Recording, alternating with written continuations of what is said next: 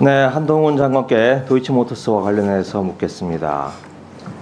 이번에 좀 살펴보니까 한동훈 장관이 3년 전에 아, 도이치모터스 사건에 대해서 어, 비교적 일찍부터 알고 계셨던 걸 알고 계셨더라고요. 이 PPT 하나 좀 보시겠습니까?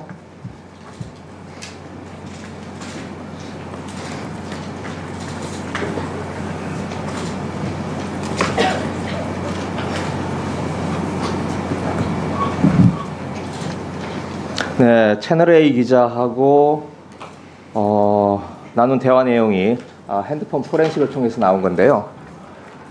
어, 당시 뉴스타파가 보도를 하자 바로 한 시간 뒤에 아, 이런 대화 내용을 나눕니다. 아, 기소도 아니고 검찰 송치도 안 된 10년 된 내사 기록이 원본으로 유출, 어, 공작치고는 수준이 아, 이렇게 아, 당시 보도를 폄하하는 말씀을 하셨던데 아, 기억나십니까? 전 기억이 안 나는데요, 의원님. 그리고 저거 경찰이 저거 불법 유출한 걸로 기소돼서 유죄 판결 받은 건 알고 계시죠? 그하고 이거 이 사건하고는 무관합니다. 아니죠. 제이 지금. 아니요, 사건일 지금 겁니다. 제가 여쭙고 하는 내용하고 그 건하고는 아니 무관하다는 의원님 거예요. 원하는 답만 제가 해드린 건 아니 아니고요. 그리고 아까 말씀하신 것처럼 아까 김승현 제가 의원님 질문을 말씀하실 때 드리잖아요, 지금. 지금 여기에 나온 것은 이건 수사 기록인데 이런 것까지 이런 것까지 유출하시면서 뭐 수사 기록을 유출하면 안 된다고 말씀하신 건 좀 이상할 것 같고요. 그리고 아까 말씀드린 건이 내용은 경찰이 내사 기록이 경찰에 의해서 이 유출된 부분에 대한 지적을 한 언론에. 나와 있는 내용입니다. 무슨 말씀이신지 모르겠는데 자 이 취지가 10년 된 내사 기록이 원본으로 유출됐다. 아니 그거 그 부분에 대해서 지금 이거 형사처벌 된 거 아니라는 말씀이세요? 맞을 텐데요. 경찰 이 부분에 대해서 선고유예 났습니다.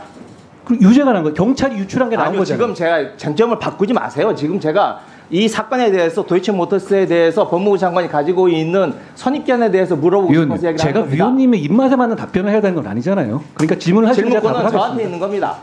난 저도 답할 권리가 있죠. 자, 다음 넘어가겠습니다. 어, 김건희 여사 소환에 대해서 물어보겠습니다. 아, 총리가 지난번 대정부 질문 때 아, 소환이 있었다라는 것을 인정을 했다가 입장을 바꿨어요. 그러면서 법무부에 확인을 했다고 그랬는데 어, 소환 통보 없었다. 이게 법무부의 공식적인 입장입니까?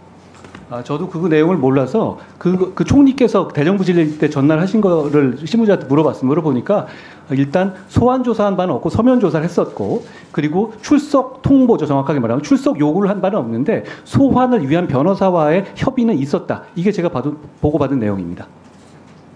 네.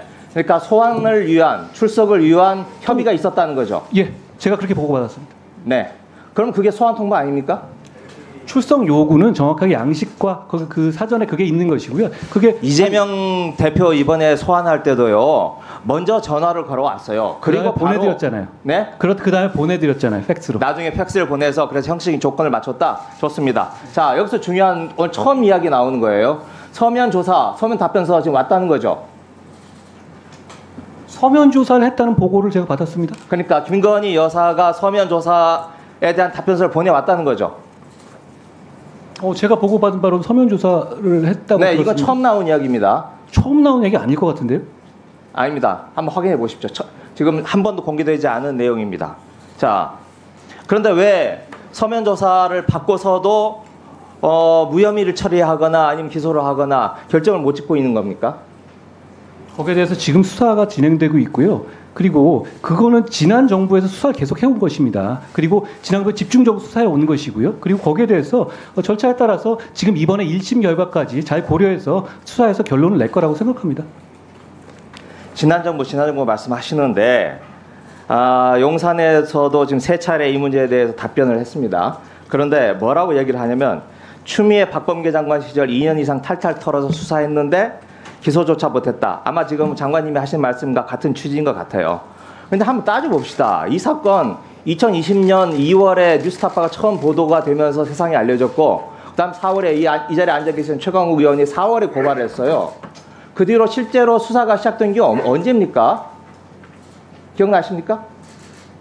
제가 그때는 그 네, 이 지방에 지방에 있어서 그럼 아니 잘 모르지 알지도 못하시면서 지난 정부 지난 정부를 하십니까? 아니죠. 이 사건 수사가 제 얘기 들어보세요. 이 사건 수사가 2021년 7월에 금감원 압수수색 들어가면서부터 본격적으로 시작됐습니다. 그 전에 윤석열 검찰총장 시절에 아무도 수사하지 못했어요. 왜 못했냐? 그 당시 수정관실에서 장모 최- 김건희 여사 다 일일이 저 모니터링 하면서 일제히 컨트롤 했던 거 아닙니까? 전혀 잘못 알고 계시네요.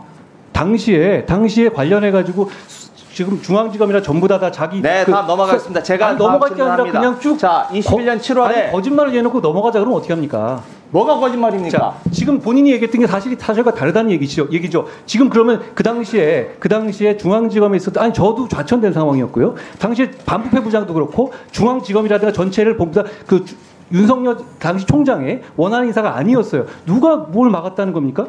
아니 어- 어떻게 무슨, 근거로 그런 얘기를 하죠? 게다가 추미애 수사가 장관이 수사가 시작되지 못했다는 거예요. 20년 20년 4월에 총괄 의원이 고발을 했지만 추미애 추미애 1년 장관이 이상 수사를 못했잖아요. 추미애 장관이 추미애 장관이 검찰총장의 수사 그 수사지휘권을 배제하는 지휘까지 했었어요.